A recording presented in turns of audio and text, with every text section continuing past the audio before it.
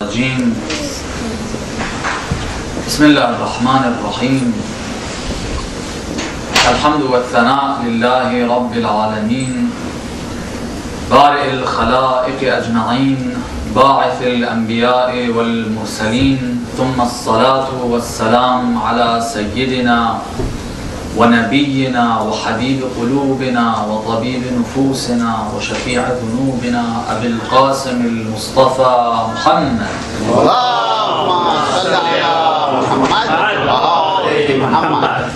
وعلى أهل بيته الطيبين الطاهرين المعصومين المكرمين المنتجبين لا سيما بقية الله في الأراضين روحي وأرواح العالمين لتراب مقدمه الفداء.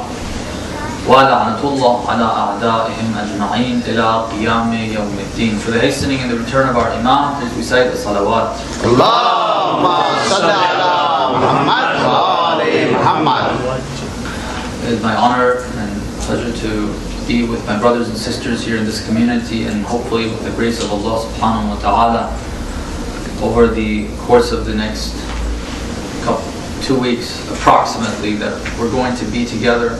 I hope that both, all of us, would be able to, inshallah, enjoy the blessings of the month of Ramadan with the grace of Allah subhanahu wa ta'ala. Recite salawat.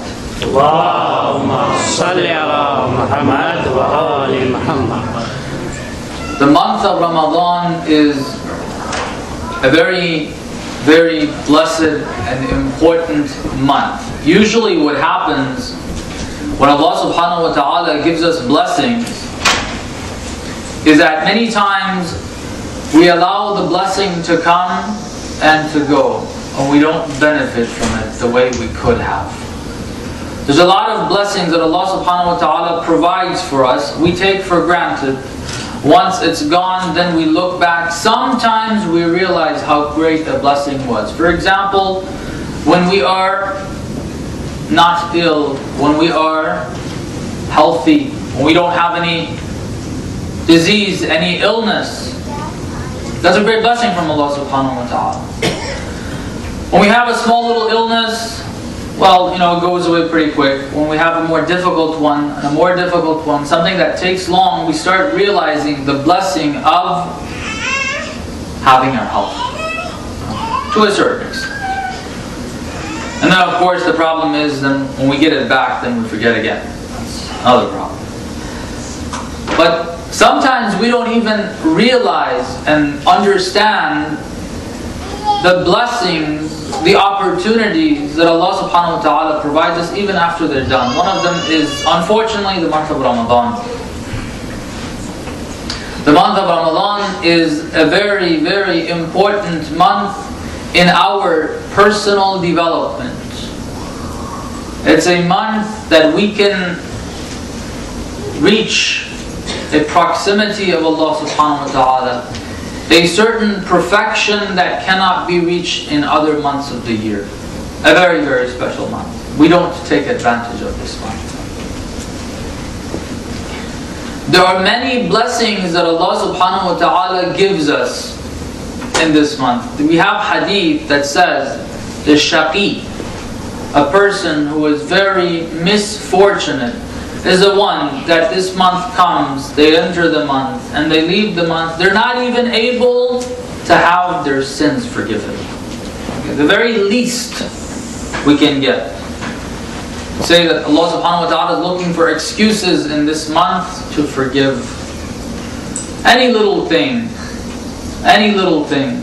At nighttime they say the angels are announcing, making that announcement. Who would want to be forgiven? Who wants to be relieved from hellfire. So it's very, very unfortunate if we come and the month of Ramadan comes to an end and unfortunately we haven't even been able to accomplish that. It's important that we take advantage, we understand the importance of the blessings that Allah subhanahu wa ta'ala provides for us so we can benefit from it in the right way. If we don't understand the importance of it, we don't benefit from it that much. That's why the Holy Prophet sallallahu alayhi on the last Friday of Sha'ban, he would give a lecture to the people, talk to them about the month of Ramadan. He would say, for instance, that the month of God is coming to you. All the months of the year belong to Allah subhanahu wa ta'ala. Every single day, every single minute, every single second, all of that belongs to Allah subhanahu wa ta'ala because everything in this world belongs to Allah. All of it. But the reason why he refers to it as his month is because out of all of them, he likes and prefers this month beyond all. And one of the nights only, according to the verse of the Holy Quran and in that saying of the Holy Prophet, that only one night in this month is better than, not even equal, better than a thousand months. So hopefully we ask Allah subhanahu wa ta'ala to allow us, to help us, if we haven't been able to take advantage of this month up to this point. If we haven't been able to take advantage of the night time, of the time of suhoor, or the actual time which is sahar, before fajr, if we're only getting up and spending time to eat and not spending time with Allah subhanahu wa ta'ala to speak to Him, to pray to Him, that very, very beneficial time that, as the verse of the Holy Quran says, عسى أن يبعثك ربك مقاما محمودا if we are able to get up at that time of the night and spend 20, 30 minutes only bare minimum with him. But we try to do that inshallah for the rest of this month. And especially, and especially since we're getting closer and closer to the end of this month, half, half of the month is gone. The nights of Qadr, the nights that we try to spend in A'mal, so that hopefully we're able to benefit from Laylatul Qadr, are going to be approaching. And the last 10 days of this month are days that the Holy Prophet considered so important. He moved, he left his house, he took something to sleep on to the masjid, and he spent all of the days and nights in the masjid, i'tikaf. Hopefully we're able to benefit from this month. There are many things that Allah subhanahu wa ta'ala has given us. In this month, one of the blessings is the obligation of the fast. The hunger, the thirst that we face, this is a blessing from Allah subhanahu wa ta'ala. It's one of the blessings that He provides in this month. And He says there's many objectives in it. One of the objectives of the fast, which He has mentioned in the Holy Quran, is لَعَلَّكُمْ تَتَّقُونَ To develop the spirit of taqwa in us. Alright? Taqwa is that important. I'm not going to be focusing too much on that, but read up on your own. Look into it. Look into our lives, how we are living our lives. And the importance of taqwa in our lives, the benefit that it will have in this world and in the hereafter. That's one of the benefits. Another of the benefits of fasting, according to the Holy Prophet, sallallahu alayhi wa but he says that you're able to remember the thirst and the hunger on the day of judgment. You read in one of the ahadith as well that was recited one of the youth, and I would like to take this opportunity also to thank the brothers and sisters, the youth who organized this, the program that we saw, the beautiful recitation by the brother, the reading of the translation, which I hope we're able to actually look into and reflect and contemplate. All right, this is the month of Ramadan, the month of the Quran. I hope we take that time to reflect on the verses. Just reading the translation isn't sufficient for us. We've got to do more. We have to go further and try to understand by reflecting, spending time on it. So as we saw there, it says that the Holy Prophet said, it reminds you of the hunger and the thirst on the day of judgment. It's very, very effective in trying to get our acts together. the remembrance of death, the remembrance of the day of judgment, which is why Allah subhanahu wa ta'ala talks about that so many times in the Holy Quran. Very, very descriptive language in describing the punishments, in describing what happens on the day of judgment. He says in, I believe it's Surah Al-Hajj, Allah subhanahu wa ta'ala says, Ya ayyuhan nas, أعوذ بالله من الشيطان الرجيم, Ya ayyuhan nas, اتقوا ربكم إن زلزلة الساعة شيء عظيم The earthquake that's going to be happening, the quake that we will be filled. We have not, I don't know how many of you have been in an earthquake. I haven't. We had one little small uh, one in Qom a few years back, and it was very, very scary. Okay. A couple of seconds, and it was not very strong. And you're sitting in that building, in your room, which you always found, found comfort in, and things are shaking. Uh, there is nowhere to go to escape that, because everything is shaking, and anything can fall, and everything is unstable. But that earthquake on the day of judgment is going to be severe. It's described that the people are going to be running and moving in directions, acting like as though they're drunk. They don't understand what they're doing. They're trying to find a way out. They're trying to find an escape route, somewhere to hide, to find security but it's not there. So they just wonder about this direction, the other direction. They don't know what to do. The remembrance of that is important. So it says that when we fast, one of the other things about, about that day is the thirst and the hunger. The thirst and the hunger, of course, for those who are not believers. All of this is for those who have not done well. Those who have not done well. They have not developed that character of taqwa in them. Thirst and hunger. So remembering that is very beneficial for us in our development. So we, we realize what we are doing a bit more, we pay more attention to that. But another thing that it has, another effect that fasting has, is remembering the thirst and the hunger of the needy, those who don't have proper food to have, those who don't have fresh water, they don't have bottled water, they have contaminated water sometimes. They cannot afford, the or it's not available to them to have nice, cool water that we enjoy.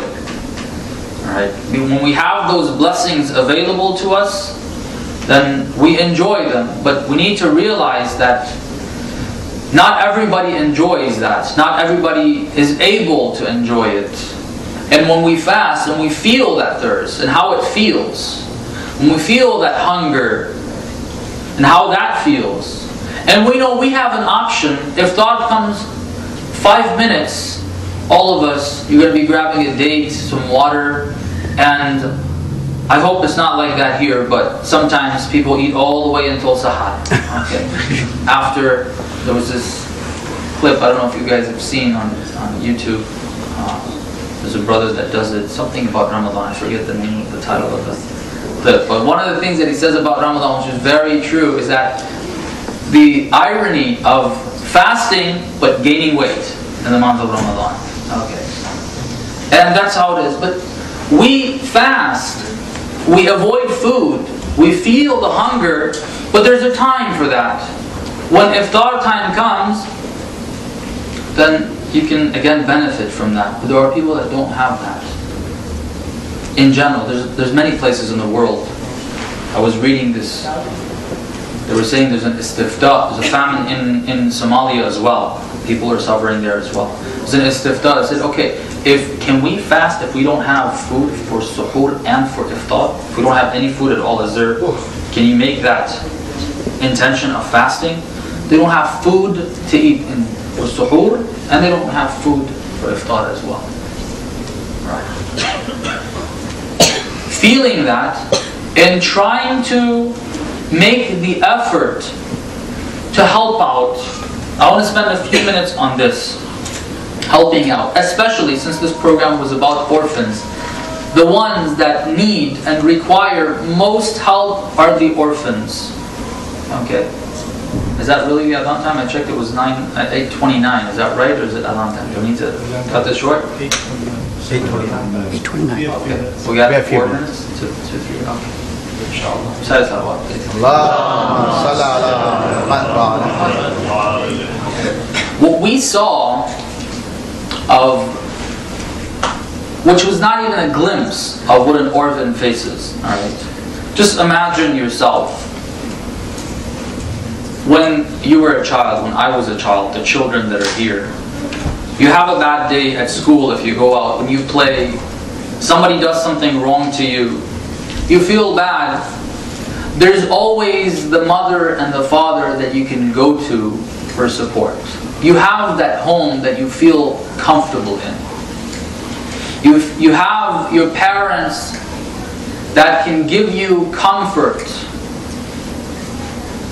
But an orphan does not have anyone to give them that support. And nothing, nothing can replace that. We take that for granted. We don't, we don't really, sometimes we even have problems with our parents. Okay. We have issues. We don't realize the blessing of having those parents around. God forbid if that blessing is taken from us. We don't have a home that we can go to and feel comfort and ease. That's my the home that I feel safe, secure. I, I feel relieved when I enter that house. An orphan does not have that. And nothing can replace it. Nothing can replace it. What we should be doing actually for the orphans is to go and spend time and give them that comfort. Try to give them that care. That's the main item on the list that they are missing. When you were reading, the Holy Prophet used to sit them down on his lap, okay, and put his hand over their head, make them feel that comfort as much as possible, as much as possible. That's what we really have to do. But unfortunately, for different reasons, we're not doing that. Maybe sometimes we're not able to.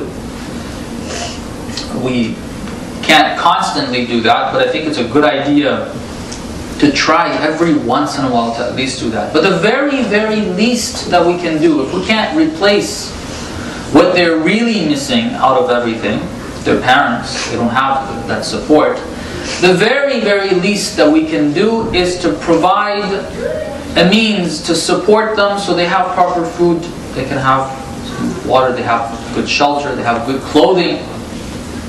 This is a responsibility that we have.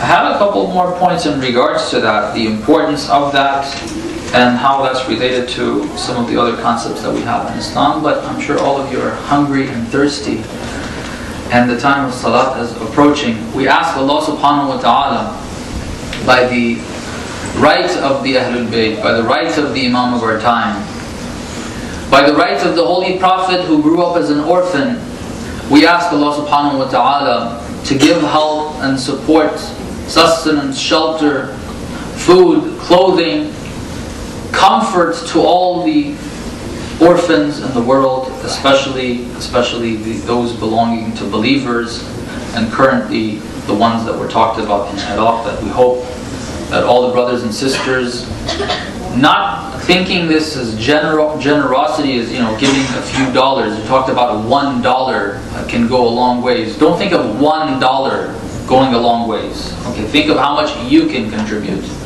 Don't think how much that can do and say, oh, one dollar can do a lot. Yeah, one dollar can do a lot, but a thousand dollars can do a lot more. Okay, five thousand dollars can do a lot more. And there's a lot of work that needs to be done. So we ask Allah subhanahu wa ta'ala to help us remove our love of the dunya and be able to contribute in the right way in the right way, and by the right of the Imam that today was his birth, Imam al-Mujtaba, who is known as the Kareem of the Ahlul Bayt. Alright, the one that was generous. Generosity is beyond providing for the needs. These are the needs that you're providing for. Generosity is giving beyond that. So give whatever you can. We ask by Allah subhanahu wa ta'ala, by the rights of all of the Ahlul Bayt, especially Imam al-Mujtaba, that we celebrated and we're blessed with the anniversary of his birth, that he gives us that generosity to be able to give. We ask Allah subhanahu wa ta'ala by the right of the Ahlul Bayt to hasten the return of our Imam. We ask him by the right of the Imam to help us develop ourselves to become true companions and soldiers of our Imam. We ask Allah subhanahu wa ta'ala to prolong the life of and give good health to all of those who are helping the cause of Islam, especially the Maraja and especially the leader. We ask Allah subhanahu wa ta'ala by the right of the Ahlul Bayt to forgive us all of our sins. We ask Him to forgive our parents, our relatives, all believers, those who are alive and those who passed away of their sins. We ask Allah subhanahu wa ta'ala to relieve all the believers of any suffering, pain, difficulty, illness that they may have. And we ask Him to grant them their hajats and their needs. And we ask Allah subhanahu wa ta'ala to relieve all the people of the world of the oppressions that they're facing. Inshallah, bin Nabi wa alih, rahimallahu man qara al-Fatihata ma'a salawat.